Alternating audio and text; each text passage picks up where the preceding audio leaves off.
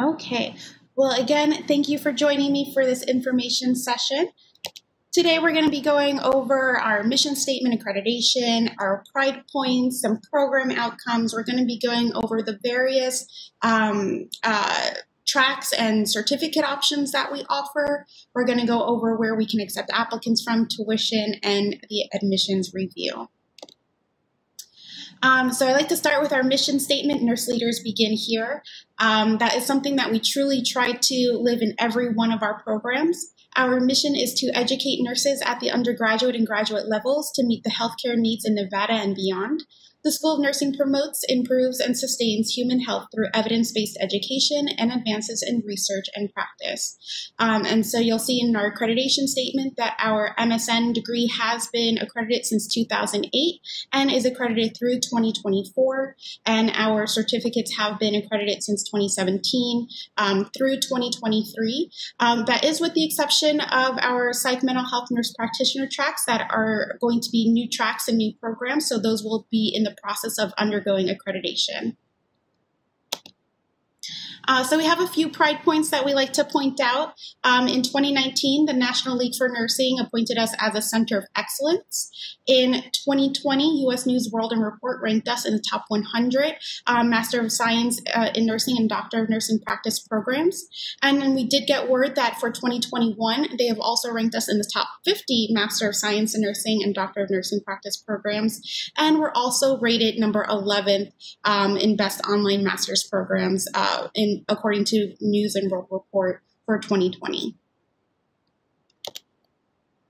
Um, so I'd like to go over uh, some of the program outcomes. We're going to go over the family nurse practitioner and psychiatric mental nurse, nurse um, practitioner outcomes, which are to completely assess, diagnose, prescribe, evaluate, create a holistic plan of treatment, articulate the professional role, which includes the ethical code of conduct and scope of advanced practice, develop and monitor comprehensive holistic plans of care that addresses the health promotion and disease prevention needs of diverse client populations, and assess and monitor teaching learning needs in diverse client populations. Practice ethically in the con- conduct of research, management, and clinical professional practice.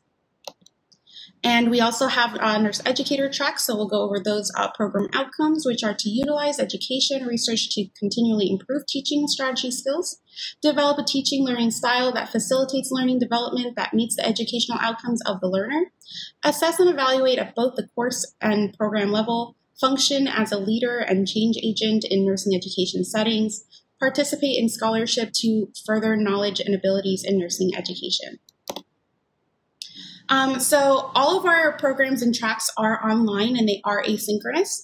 Um, so if you're not familiar with asynchronous learning, um, what I usually like to give the example of discussion posts. Discussion posts will typically serve as your participation in the course. Um, so let's say your week begins on a Monday, it ends on a Sunday, and you are um, you have to uh, post your initial response by Wednesday of that week. That means you have from Monday to Wednesday, whatever that hour and minute deadline is, to submit that post. So if you're somebody who likes to work early, you can go ahead and submit that once it opens on Monday. Um, if you're somebody who likes to um, work in the wee hours of the morning, you can certainly go ahead and post at 2 o'clock in the morning. Again, as long as you're meeting that deadline, um, which would be sometimes it's a uh, Wednesday night at 11:59 p.m. Um, so that's the the beauty of being an online asynchronous course. You're not sitting at your laptop or computer at three o'clock in the afternoon waiting for a live lecture to happen. You're essentially doing your learning at your own pace, um, but again within the deadlines that are prescribed for you um, by your instructor. Uh, we do offer three MSN track options and three postmaster certificate options that we'll go over in just a moment. Uh, we're minute we're located just minutes away from McCarran International Airport, um, and we're about 15 to 20 minutes away from the uh, Clinical Simulation Center, which is where um, many of our um, nurse practitioner students will spend time when they're required to come on campus. There are mandatory trips to campus. Um, one of them is our School of Nursing graduate orientation. Um, this orientation is different than the orientation that the grad college holds. Um, and this one is usually a two day event, all day, both days. Um, if I'm correct, it will be on August 4 and 5. That should be a Wednesday and a Thursday. And what's nice about that is if you're coming out of town, you can um, extend your stay by a day or by the weekend and enjoy uh, Las Vegas and, and the Strip as well. Um, you'll see that the MSN FNP program does have seven trips to campus. That seven does include um, mandatory orientation. So um, six true trips to campus from start of the program to end of the program. And for the psych mental health nurse practitioner track, we're in the process of uh, finalizing exactly how many trips to campus will be required, but you're looking at about seven to eight visits similar to the FNP program, and we'll have those um, uh, readily uh, confirmed before we go ahead and do our offer of admissions. Um, for our nurse educator tracks, whether you're in the Masters of Science in Nursing program or in the Postmaster's Certification program, there are three trips to campus. And then um, you'll notice that we have two psych mental health nurse practitioner um, certificates listed, and we'll go over those in detail to kind of differentiate them. Um, but we're looking at an estimated five trips per um, uh, for both certificates. And so everybody who's in our MSN program, whether you're a nurse educator, family nurse practitioner, psychiatric mental health nurse practitioner, you're taking the same core 18 credits. Um, they're not necessarily taken in this order, um, but you get an idea of the courses that everybody can expect to take. And then we have our nurse educator um, specific courses. So these are 14 um, uh, credits that are specific to the nurse educator, 33 credits in total um, when you're looking at the core courses and the nursing specific courses. And we do have some plans of study to kind of give you an idea of what your next um, year or two would look like.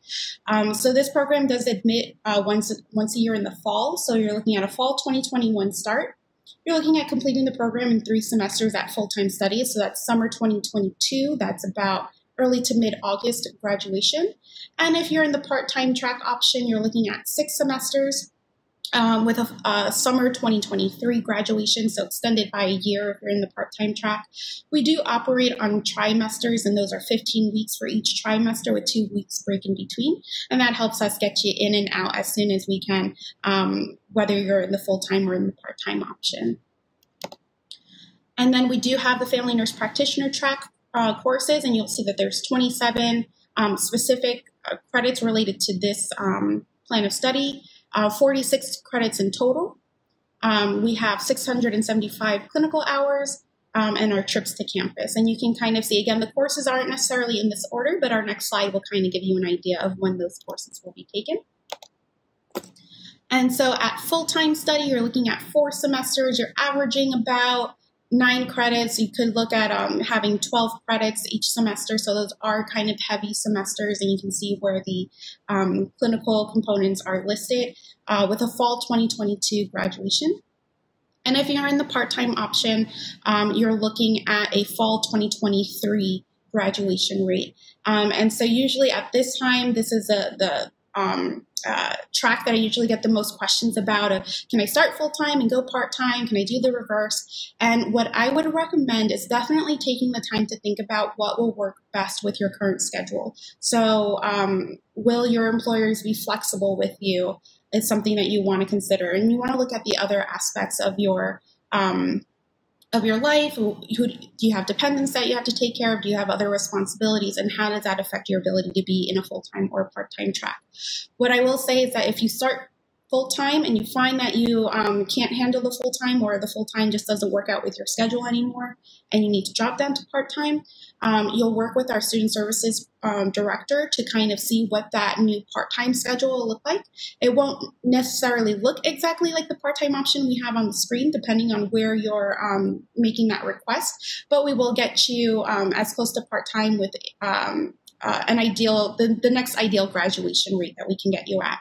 If you're starting off at part time and then you're interested in uh, going full time, that may not necessarily be um, possible as far as trying to increase your rate to graduation. But what we can look to see to do is can we um, maybe try to get you into more courses in the first spring semester as opposed to the last spring semester to try to lighten up your course load as you progress through the program. And then our psychiatric mental health nurse practitioner courses, same thing, 46 credits, um, fewer clinical hours, and the same required trips to campus. And so these are some sample plans of study for the psych mental health nurse practitioner courses. Um, there may be some changes um, to the breakdown of the courses when you are actually enrolled in the program. We're currently working on making some updates. Um, we're not planning to increase any credits at this time, so it will still be 46 credits. It just may look slightly different than what you're seeing right now. Um, but same thing, graduation at full time is four semesters or seven semesters at part time. And then we have our postmaster certificates in nursing education, and that's a fall start program as well. It is 12 credits. Um, and we do, uh, I'll have a plan of study for you in just a moment. So that is three semesters. And then we have our psych mental health nurse practitioner with a fall start. And this one is 28 credits. So this is for the individual who is not an FNP, who's not um, an advanced practice nurse at all, who's looking to get into psych mental health nurse practitioner. This would be the certificate for you if you already hold a master's degree. And if you are a family nurse practitioner already, then you would um, be looking at the um, right hand side of the screen where the 21 credit psychiatric mental health nurse practitioner certificate programs listed. And you see it kind of just dives in right into the theory and clinical components of psychiatric mental health. Um, so that one does have a spring start. The applications are not yet open, but we'll go over when they will open in just a moment. And do take note that if your graduate education currently doesn't demonstrate the three P, so that's advanced pathophysiology, advanced pharmacology, and advanced physical assessment, that that's something that would need to be built into your plan of study. And those are three credits each, so a total of nine credits. Um, and that's something we'll when we're um, when the admissions uh, committee is making the decisions, they'll make note of that, and that's something that will be in your official offer of admissions through Grad Rebel Gateway. It'll be listed as um, uh, a provision of your admission, so that when you're making your admissions decision, um, you're making it knowing that you have those additional um, uh, nine credits to take. Okay, and then uh, same thing, just like before, those samples of when um, each course is taken. So psychiatric mental health for the FNP is a um, uh, spring, summer, and fall graduation. The regular psychiatric mental health nurse practitioner just starts in the fall, but still has the same graduation rate or graduation time as the FNP certificate. And then we have our nurse educator, which is three semesters with a summer 2022 graduation. So some important information I do want to go over. Um, if you're offered admissions, you must enroll for that term that you're admitted for. So if you're applying for fall 2021 and you're admitted fall 2021, you must enroll in that semester. Um, of course, life happens, and if you find that starting um, in fall 2021 just won't work, um, you would have to reapply in the future. So applying for fall 2022 resubmitting documents, updating any of those documents, and going through the review process all over again. So, so um, admissions would not be guaranteed at that point, but um, we still would consider you just as we did the first time. We also don't allow transferring of tracks. Um, so if you start out in the um, Master's of Science in Nursing Family Nurse Practitioner track and you find that um, psych mental health is more more of your um, speed, then um, we asked you to first consider that very carefully because just because you were offered admissions into one track doesn't mean that we can just move you over into another track. Um, we look at the components that make up your application and they should speak to the track that you're applying for, which is why we can't do that seamless transition. If you're really contemplating that, um, you would have to apply to that track and go under the review process just like you did the first time around. Um, and uh, admissions into that track wouldn't be guaranteed. But what I can say is that's why we do offer those two um, psychiatric mental health nurse practitioner um, certificate options for you so that if you do want to kind of keep your scope a little broad at first and start out with the Master of Science in Family Nurse Practitioner, you can, you get certified. And then you can apply to that psychiatric mental health nurse practitioner for the FNP, which is that 21 credit certificate. So you do have that option. Right now, we don't have the reverse available. So if you start out in psychiatric mental health nurse practitioner and you finish that program, we're currently eliminating our um, uh, postmaster certificate in family nurse practitioner. So just know that the reverse is not available at this time. Um, and I wanted to provide some information about non-degree seeking students. I know some of you have already been on our website looking at admissions criteria, looking um, and found some information about courses that you can take as a non-degree seeking student. We do have nine credits that you can take as a non-degree seeking student. Taking any of these credits does not guarantee admissions, Um, and it's also important to note that these courses are only offered um, once a year, and that goes for all of our graduate courses. They're only offered once a year. So um, we do have a wait list for all of these um, these three courses available. So that's for advanced uh, pathophysiology, health and public policy for the advanced practice of nursing, and advanced pharmacology. Um, we're moving in a direction because these courses tend to get um, become so in demand that um, we are opening the waitlist a, a little later. So they'll be opened the semester prior. So right now um, we are we are taking individuals on the waitlist for Nurse 719R because we're in the transition of um, opening those waitlists only a semester prior. Um, but if you're interested in taking Nurse 704, that waitlist would open in uh, on May 1st. So it'll always open um, semester prior. Um, again, taking these courses does not guarantee admissions. Um, and so one of the uh, questions I get is, so what are the benefits of taking these non-degree seeking uh, courses? Uh, so if this is your first time taking a graduate level course, this is a great time to kind of, you know, take one course at a time, get acquainted with graduate education, get acquainted with um, online education or education at UNLV School of Nursing if you're um, haven't attended here before. So it's it's good to just um, see how we operate. Um, it also helps to not necessarily help you graduate sooner, because again, these courses are offered in given semesters, um, but they help to lighten that load of the semester, which is always welcomed, especially when you're getting closer to your um, clinicals um, and you may be working and you may have all these other responsibilities. So, of course, having a lighter course load, whether you're a full time or part time student, would also always be welcomed. Um, and I do also want to note that um, for uh, Nurse 704, it is a prerequisite course for Nurse 730. So if you don't take Nurse 704, or if you don't, um, if you end up withdrawing from it, you wouldn't be able to take Nurse 730. And also note that you do need a, a grade of B or better in any of these courses, but especially in 704 if you're trying to take uh, Nurse 730 as a non-degree seeking student. Um, we don't combine, uh, we don't allow combination of non-degree seeking credits with transfer credits. And I do want to talk about transfer credits for just a moment. Um, we don't uh, consider transfer credits that were earned in another degree or certificate. We consider that double dipping, which is why we don't allow it. Um, but we can consider up to six credits for transfer if they were not earned towards a degree or certificate. So maybe you started in a, a degree or certificate and didn't finish it. Um, you may identify courses that you took that kind of match our curriculum. And if that's the case, you uh, provide us with, with a copy of the syllabus or the syllabi, and we'll review them and we'll see if they're transferable.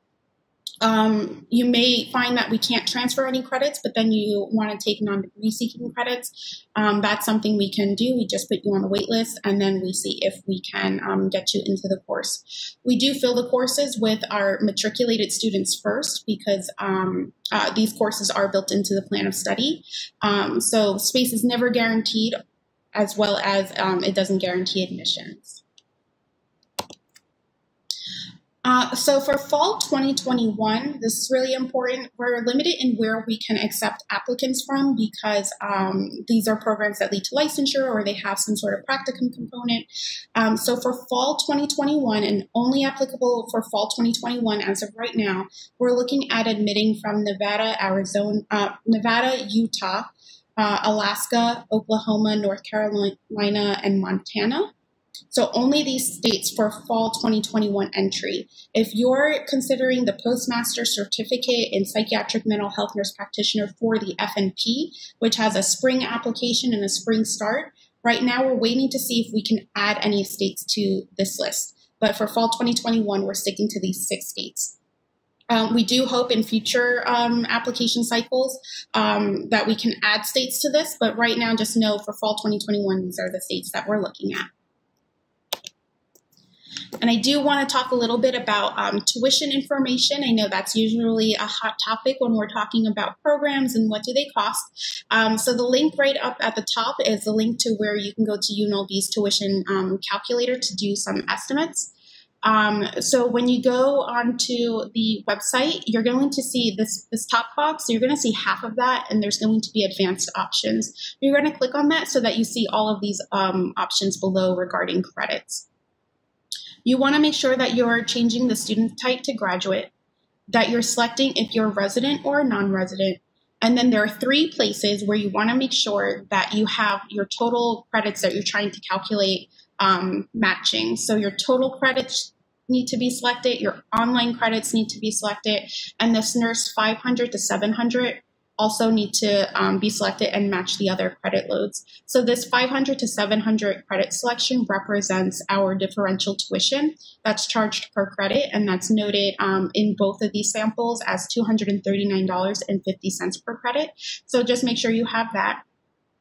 For online credits, um, you want to make sure that you're selecting the appropriate amount of credits that you're trying to calculate, because if you're a resident and you don't select that, then you're going to lowball your tuition estimate. You're going to see over here it's $34 per credit. So if you don't select it, it's not going to be listed here and you're going to get a lower tuition estimate.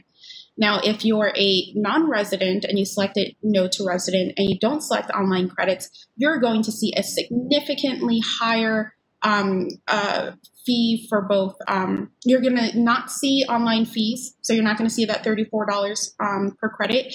And in the non resident fee, you're actually going to see a significantly higher fee there, um, which you don't want. So, being in an online program as a non resident student, you do get a significantly reduced non resident fee, which is nice.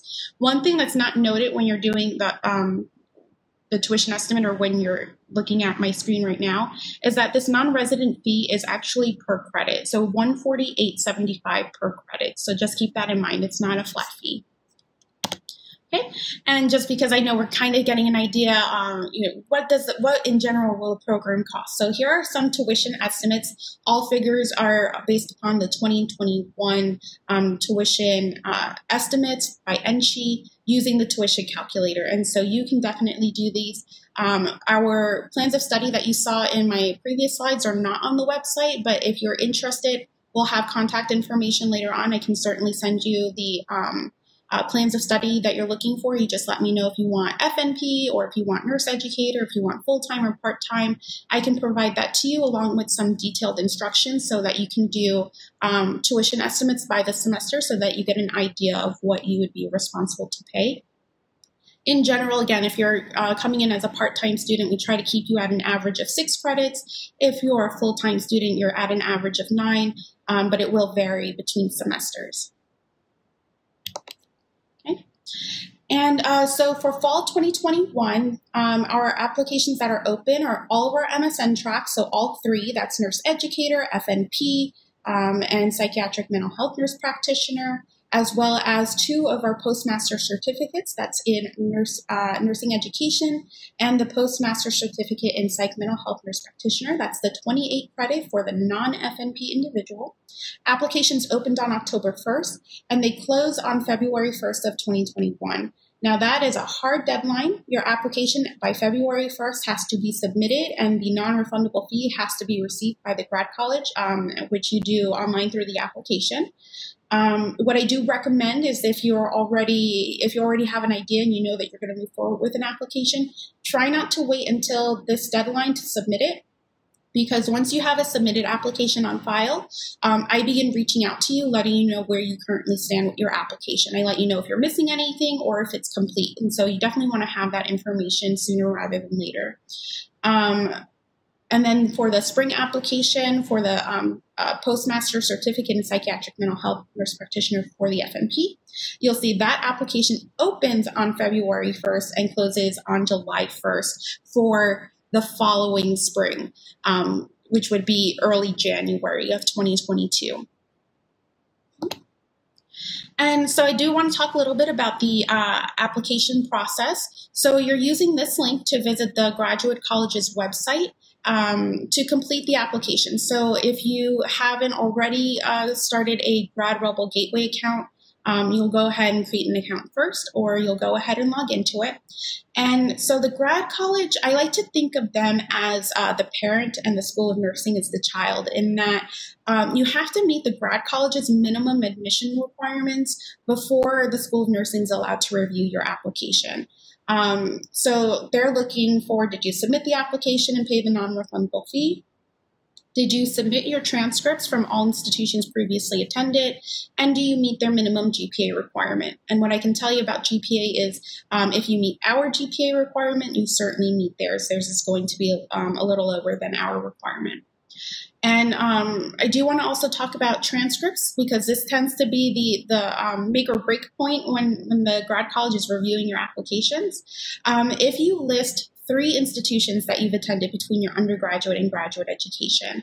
Um, you need to have three sets of transcripts for that. So if you submit, if you indicate that you have three institutions that you've attended, but you only give us two sets of transcripts, the grad college is going to say your application is incomplete.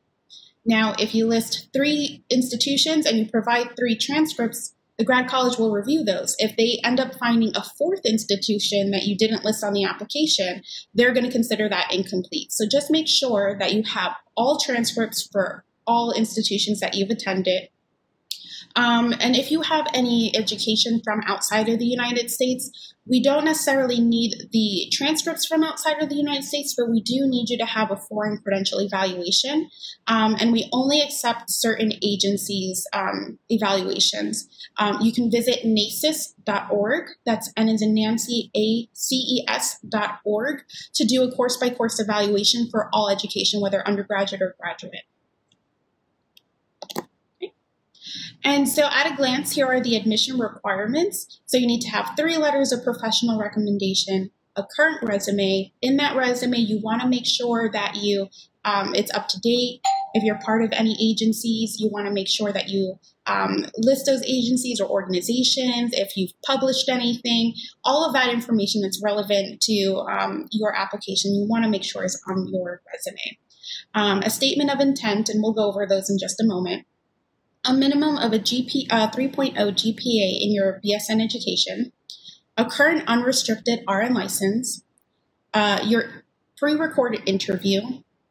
Uh, you must have practiced as a BSN prepared nurse for a minimum of 2,000 hours. So if you're working full time, uh, that would be about a year.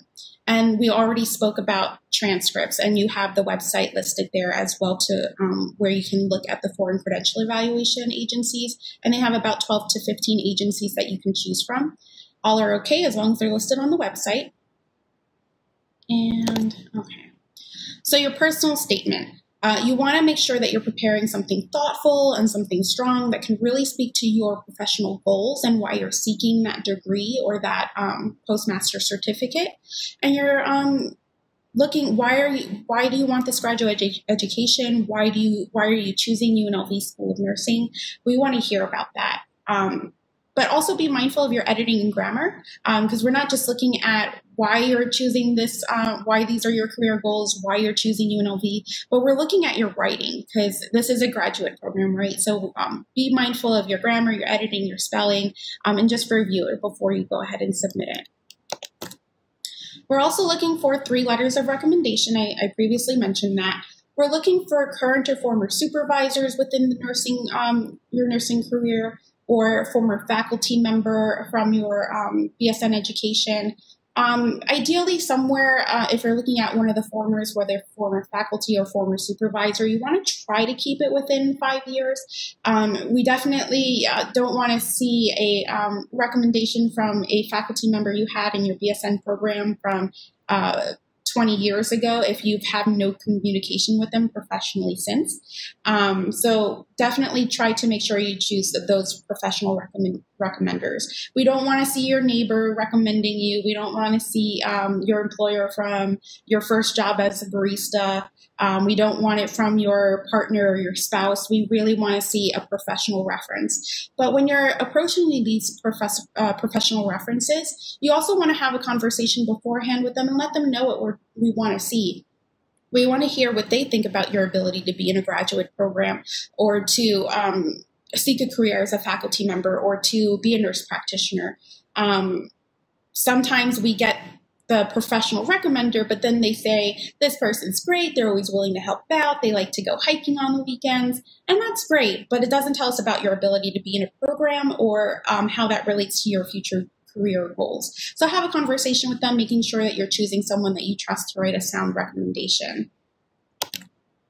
And then the online recorded video interview. Within um, about 24 hours of paying your non refundable application fee, um, and submitting your application, you're going to get an invitation from Kira Talent inviting you to conduct your interview. I do recommend um, keeping an eye on your junk and spam mail because on occasion it does end up in there. Um, but if 24 hours pass and you haven't received it yet, you just reach out to us and we'll push another invitation out to you so that you can get this completed. There are several prompts that are randomized, um, and you won't know what those prompts are until you're um, ready to record your responses. These um, each response is going to be timed and you'll be able to see at the bottom when it starts um, how much time you have. So just make sure that you are sticking within um, the confines of the time that you're allowed allotted. Um, recording no response is a response. That's what's going to be captured if you um, don't respond to the prompt. Um, and if you get cut off because your explanation or your response was over the time limit, limit that is also what's recorded. Um, so try to be mindful of that time constraint. Whatever is submitted is your submission, and that's what will be reviewed by the um, admissions committee. And you're only allowed one submission, so we don't allow any reviews. And um, some information, uh, if you want to contact us, you can reach me at gradnursingadmissions at unlv.edu. This is also on our MSN degrees webpage, all the way at the bottom, if in case you lose it.